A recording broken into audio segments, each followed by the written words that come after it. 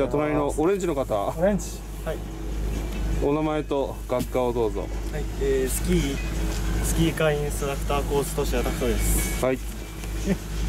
どうでしたか？今シーズンの振り返ってみて。いや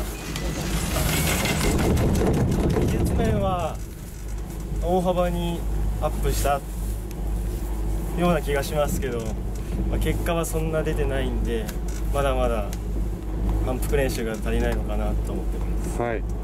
そうだね。今日は特に、えーテレマークスキーやってますけどもコーチからどんなアドバイスもらってますかね今。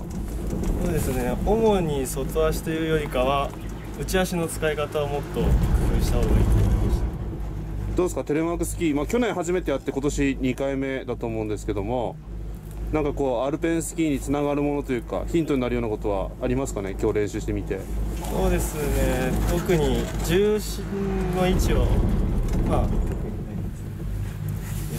特にない。よないか。う ん重心の位置をセンターに持っていくっていう、まあ、真ん中にずっとキープすることが、まあえーアルペンのアルペンにはつながるんじゃないかなと思ってます。はいじゃあこれからあと残りしっかり怪我ないようにはい。しっかり頑張ってやってください、ね。はい。ねありがとうござい来週合算行ってその次体力測定もありますんでゴールデンウィークまでしっかり頑張っていきましょう。はい。はい、ありがとうございました。ありがとうございました